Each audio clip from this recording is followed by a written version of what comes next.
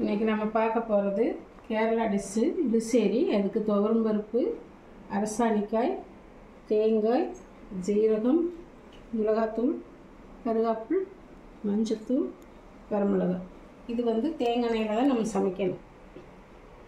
இலிசேரிக்கு பருப்பு வேக போடுறதுக்கு பருப்புமே இப்போ இந்த காயை சேர்த்திக்கலாம். இது கூடையே மிளகாத்தூளும் சேர்த்திக்கலாம். காய் போட்டதும் கொஞ்சம் மஞ்சள் பொடி சேர்த்துக்கலாம். இது கூடவே மிளகாத்தூளும் சேர்த்துக்கலாம் இதையே அடுப்பில் வச்சு ரெண்டு விசில் விட்டுக்கலாம்.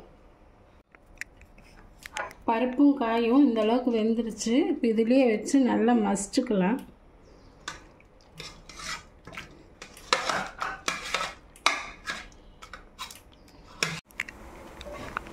பருப்பும் சிவப்பு பூசணியும் வெந்து இந்த அளவுக்கு கடைஞ்சி வச்சுருக்குறோம்.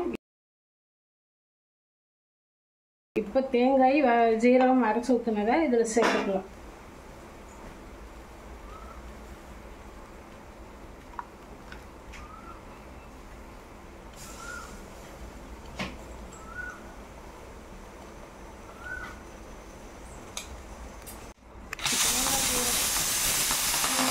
ஊற்றிருக்கோம் இது கூட உப்பு சேர்த்துக்கலாம். குழம்புக்கு தேவையான உப்பு சேர்த்துக்கலாம்.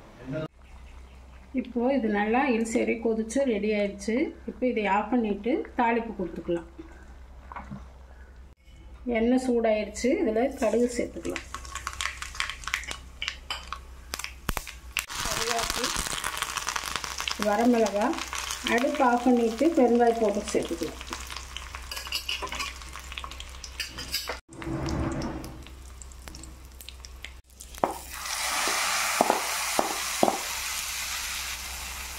நம்ம இல்சேரி சூப்பராக ரெடி ஆகிடுச்சு நீங்களும் இது மாதிரி ட்ரை பண்ணி பாருங்கள் ட்ரை பண்ணிவிட்டு எப்படி இருந்ததுன்னு கமெண்ட் சொல்லுங்கள் நம்ம சேனலை சப்ஸ்கிரைப் பண்ணுங்கள்